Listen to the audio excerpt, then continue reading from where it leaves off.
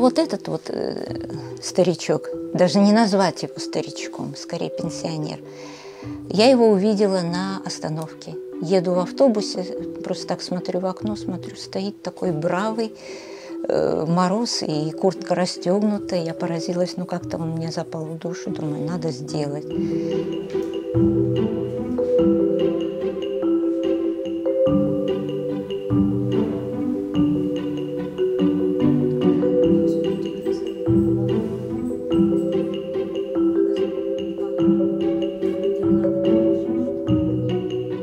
Ассоциация о нашем детстве, о Советском Союзе. Ну, Советский Союз был когда-то, вот мы, мы там жили. У меня прабабушка точно такая же была, или бабушка.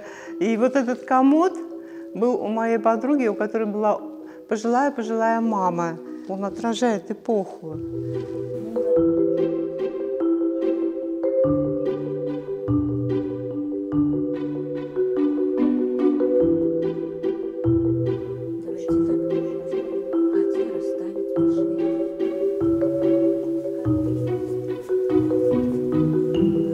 Они для меня живые. Ну и получается, и люди смотрят тоже, вспоминают своих и пишут.